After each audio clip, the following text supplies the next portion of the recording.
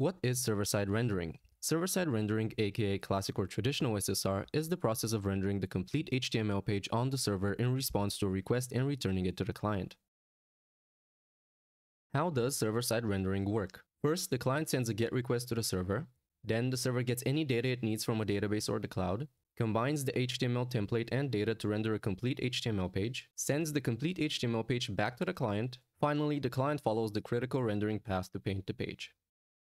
What are the pros and cons of server-side rendering? Pros. Faster first contentful paint and time to interactive. SEO optimized. Additional budget for client-side JavaScript. Client computation and bandwidth offloaded to the server. Cons. Full page reload required for some interactions. Slow time to first byte.